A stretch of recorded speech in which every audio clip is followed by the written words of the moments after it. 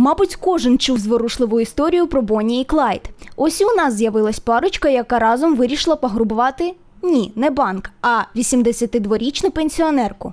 Вночі 23-річний хлопець разом з 47-річною знайомою проникли в хату до жінки з надією, що їх ніхто не почує.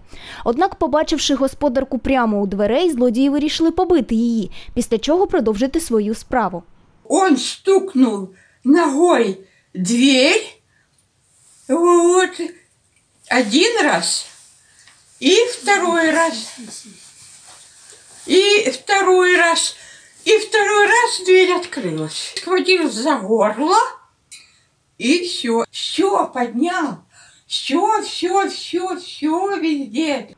Грабіжники винесли майна на 16 тисяч гривень. Кидали у сумку все, що потрапляло під руку: телефон, фотоапарат та навіть ікони. І якщо Бонні і Клайд, скоріш за все, витрачали викрадені гроші на романтичні пригоди, то наші герої купили горілки.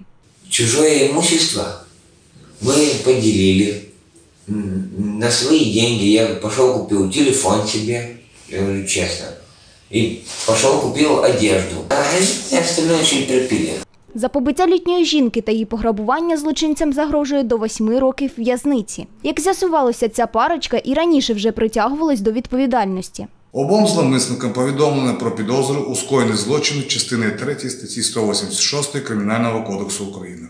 Судом їм обрана міра запобіжного заходу домашній арест. На жаль, шукаючи легкий заробіток, деякі люди стають на слизький шлях. Ну а цих героїв вже зачекалися в місцях не таких віддалених.